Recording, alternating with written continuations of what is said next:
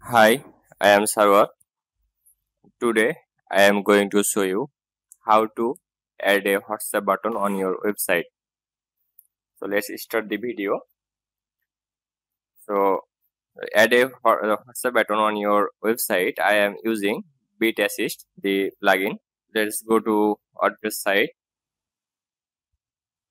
To add a WhatsApp button on my website, I already installed Bit Assist. So uh, click on Bit Assist.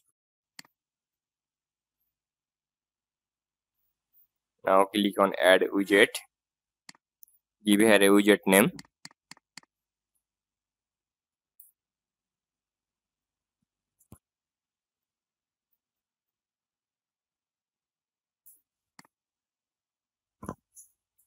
Now click on create button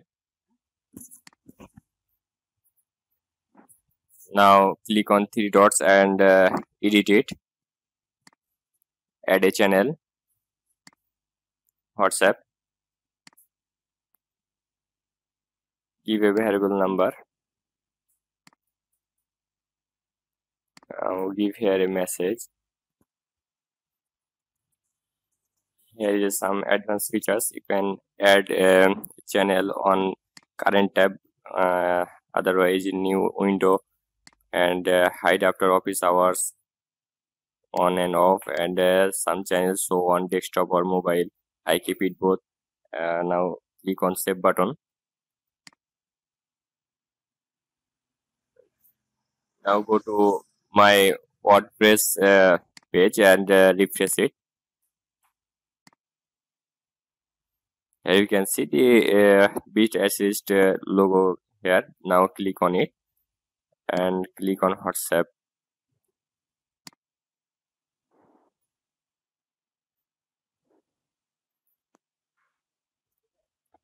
You can uh, forward this message uh, select up to five chats.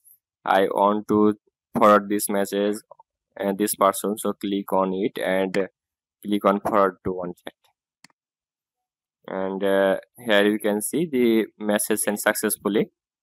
So in this way you can uh, uh, add your whatsapp button on your website and give message uh, anybody. So thanks for watching this video